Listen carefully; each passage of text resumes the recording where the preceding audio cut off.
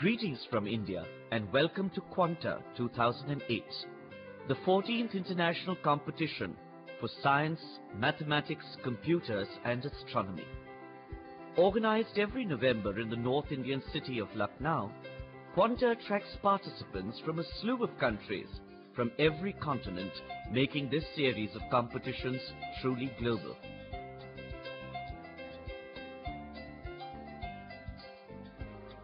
Young people have an opportunity to interact with their peers from around the world and vie for prizes and positions that have international accreditation.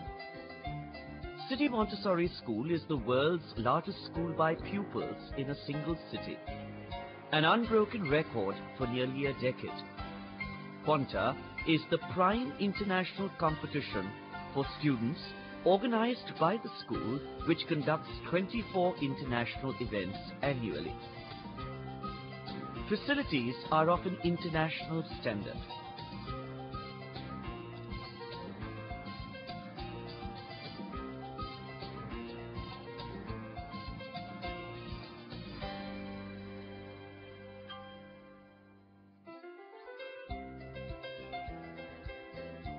The degree of challenge is high.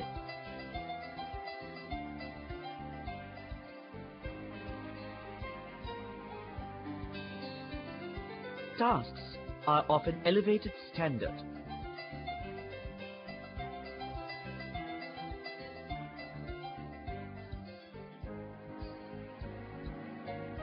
Assessment is independent and impartial. Adjudicators have included the most internationally respected experts in their fields. Hospitality is legendary.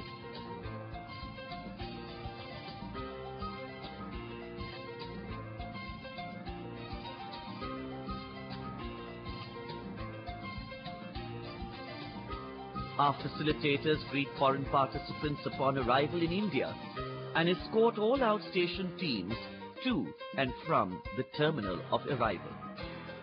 Competitions include tasks that test cognitive ability of students in areas as diverse as astronomy to computer programming, life sciences to prototype design. This is carried out through a combination of interesting and exciting competitive formats that include the use of oral skills and tactile skills while testing aptitudes that involve mathematical, analytical, mental and mechanical abilities. CMS believes in the dictum that the earth is one country and mankind its citizens. The objective of the institution is the promotion of world unity by training leadership for the new millennium. This is done by ceaseless motivational inputs that the 35,000 pupils who study here receive. A part of this educational philosophy is shared with all participants in a meaningful assembly addressed every morning by the founder, peace promoter and educator, Mr. Jagdish Gandhi. He is a humble recipient of the UNESCO Prize for Peace Education and the World's Children's Prize for the Rights of the Child, along with awards that include the promotion of a nuclear-free future. We urge you to join us in the Indian tradition.